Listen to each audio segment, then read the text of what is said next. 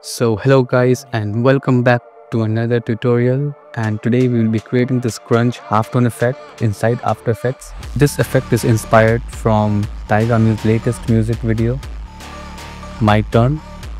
So I have opened up my After Effects and this is the clip that I will be using for this effect. So the first step that we will be doing is we will create a new solid layer and let's name it CC ball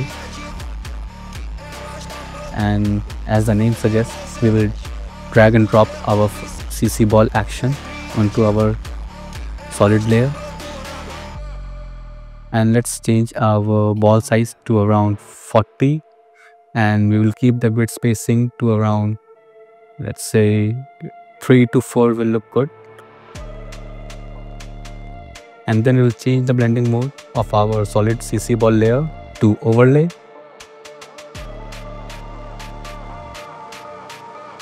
let's lock this layer.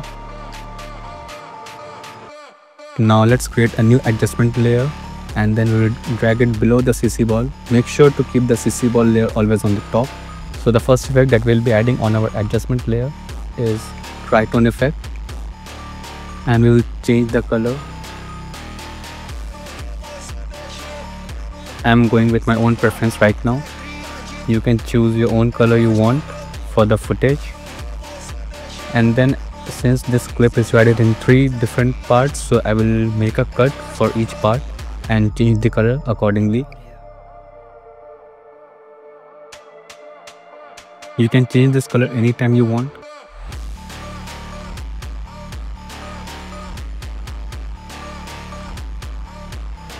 Okay so after this we will create another adjustment layer and drag it below and above the main clip we created another adjustment layer for this because we will be adding a noise effect on this.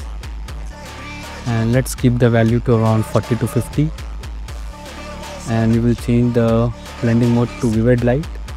And also let's decrease the opacity of our tritone adjustment layer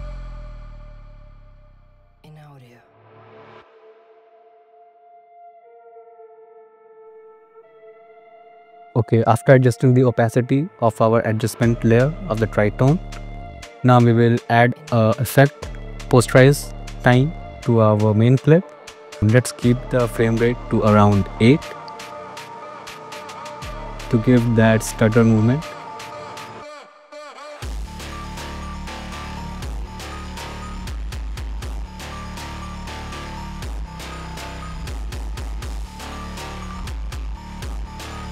and then I will add a curve effect and then tweak its settings till it looks good. Now in the music video you will see that there are shapes which is moving in the video. So let's go to our pen tool and we will create a rough rectangle shape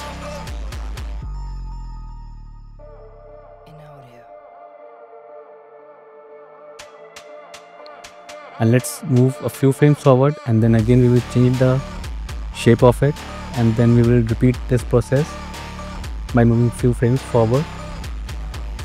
And also for this we will turn off our fill layer and we will keep the stroke on.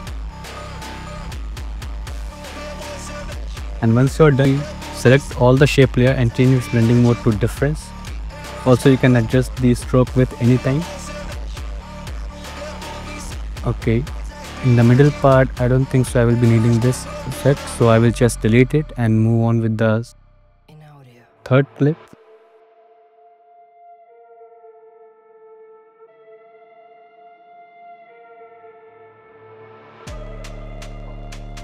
And then for this I will activate my fill layer and change its color. And then I will copy it and place it in a different position. Now for both this layer shape layer we will repeat this process again by adjusting the shape by moving few frames forward and then adjusting the shape of it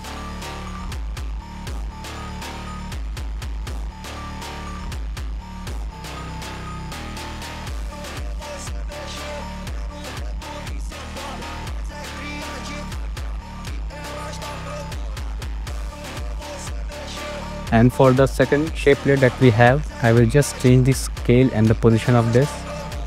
You can give any variations you want.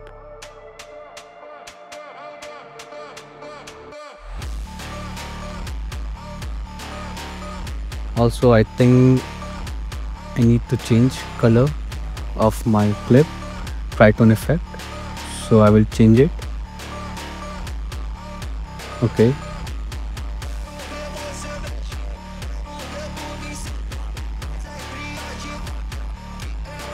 let's duplicate the shape that we created for our first clip and reposition it because I want it on the both sides now I have an overlay hand drawn overlay which I will drag and drop it. You can find this overlay available on internet. Let's add an invert effect. And then I will change its blending mode to difference. I will trim down this image because I don't want it to be played throughout the video.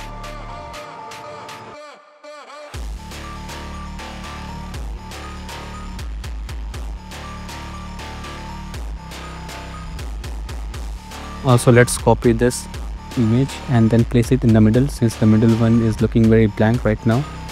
So we need to add some elements to it. Okay so now your grunge halftone effect is ready i hope you guys like this tutorial. Make sure to like this video and subscribe to my channel for more content